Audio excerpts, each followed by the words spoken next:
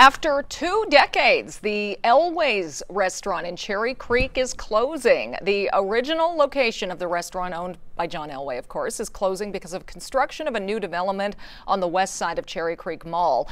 In a statement on Facebook, the owner said they're working to determine a post construction location.